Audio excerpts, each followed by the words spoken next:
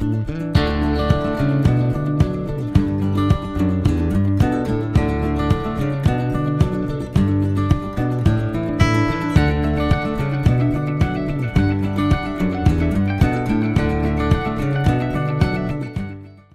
to GLOBEFISH Meet the Expert, where we explore international trade and market issues with a leading expert. I'm your host, Mariana Toussaint.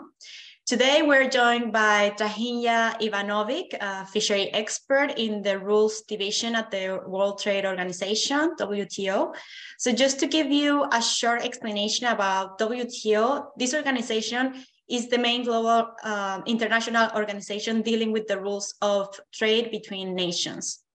So turning to our main objective today to explore some aspects of international trade and access to market of fisheries and aquaculture products, I would like to thank you, uh, Strahinja, for participating in, in this uh, Meet the Expert interview. It's great to have you with us. The WTO has many roles, but the main one is to act as a forum for negotiating trade agreements among members. So in this regard, could you explain a bit more what does WTO do in terms of trade of fisheries and aquaculture products? And in addition, what is the type of assistance that WTO provides to, to its members when it comes to the fisheries and aquaculture sector? Good afternoon, Mariana.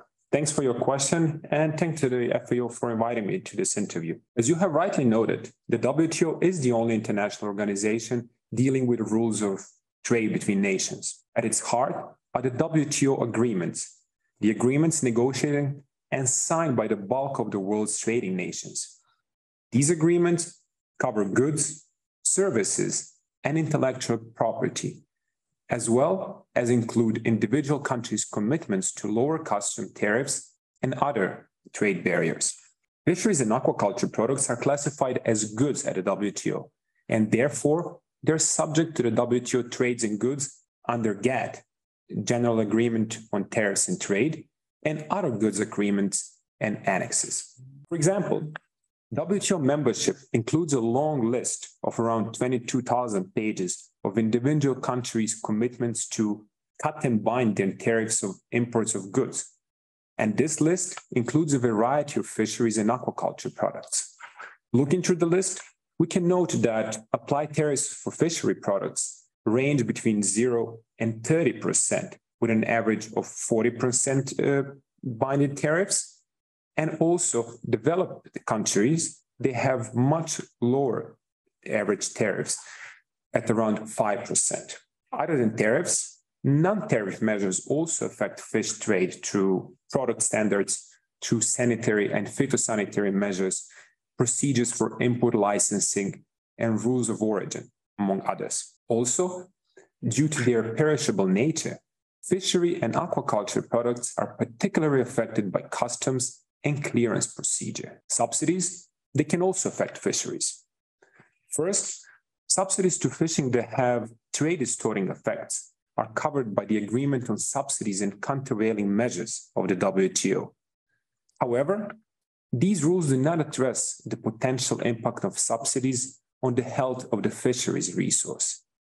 And this is why in 2001, at a ministerial meeting in Doha, WTO members agreed to clarify and improve those rules and eventually have adopted the agreement that contains a mechanism disciplining fishery subsidies based on their impact on the health of fish stocks. Concerning the second part of your question, Mariana, and the assistance that the WTO provides, technical assistance is surely a key component of the development dimension of the multilateral trading system. For that reason, the WTO Secretariat uses several means to deliver technical assistance to developing and least developed country members, such as routine advisory services to the representatives here in Geneva, but also different seminars, workshops, and training courses. Thank you. I hope that replies to your question. Yes, indeed. Thank you. Thank you a lot. You, during this first question, you were mentioning uh, fishery subsidies. So after more than 20 years of ongoing negotiations on fishery subsidies at the WTO, last June at the 12th Ministerial Conference, uh, was a turning point for the fisheries and aquaculture sector. Members adopted the WTO agreement on fisheries subsidies, which prohibits ha harmful uh, fisheries subsidies. Could you explain what are the type of uh, fisheries subsidies the WTO agreement covers? What will happen with the other harm, harmful uh, subsidies not covered in the agreement? And how will members implement this agreement? Again, Mariana, thanks for your excellent question. And yes, indeed, this agreement was a, definitely a turning point for the WTO members and was a turning point in my life also, as I have spent uh, four and a half years in the negotiating room, helping members and assisting them into reaching this agreement. The agreement is very important for ocean sustainability because it prohibits harmful fishery subsidies that are one of the key factors in widespread depletion of the world fish stocks. But I don't think I have to develop too much about that to, to my colleagues in the FAO. You're very well familiar with this issue. The agreement is historic for the WTO for different reasons. First, this is the first sustainable development goal target to be fully met. This is the first SDG or sustainable development goal target that has been met through a multilateral binding agreement. And also for the WTO, this is the first agreement that focuses on the environment, not only on the trade distorting effect uh, and the trade distortions. Concerning your specific question and the type of fishery subsidies that are covered by this agreement, in a nutshell, the agreement prohibits three types of fishery subsidies. First, any subsidy that contributes to illegal, unregulated, and unreported fishing, a term well defined by the FAO. Then subsidies regarding stocks that are overfished. And third, subsidies to any fishing taking place in unregulated high seas. Those are the seas that are beyond the jurisdiction of any coastal member and also outside of jurisdiction or area of competence of any regional fisheries management organization or the agreement.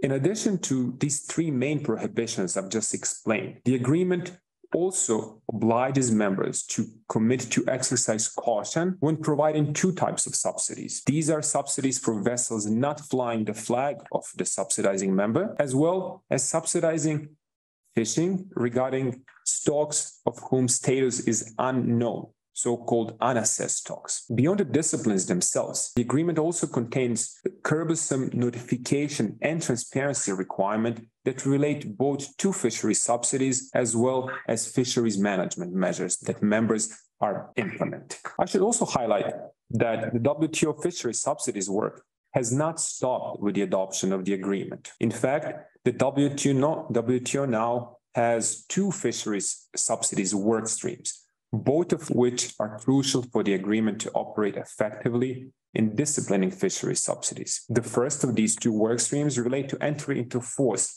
and implementation of the new agreement. And for the agreement to enter into force, two thirds of WTO members must deposit their instruments of acceptance or ratify the agreement.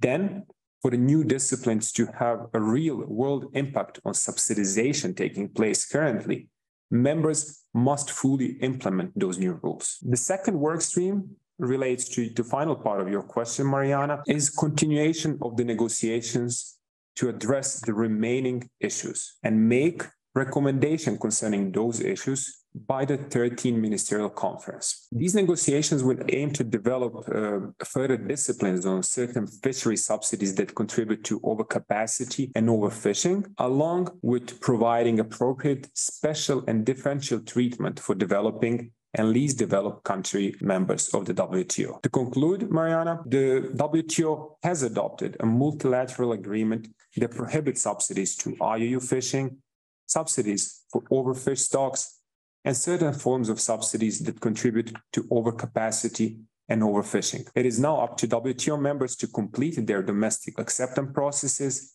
so that the agreement can begin delivering its benefits for the ocean sustainability. Thank you. Yes, indeed, you have uh, made a really good um, key uh, points. Fortunately, we have uh, come to the end of this interview, and I would like to thank you, Strahinja, and to all our listeners. Remember to stay tuned for the next GLOBEFISH Meet the Expert interview and see you next time. Goodbye.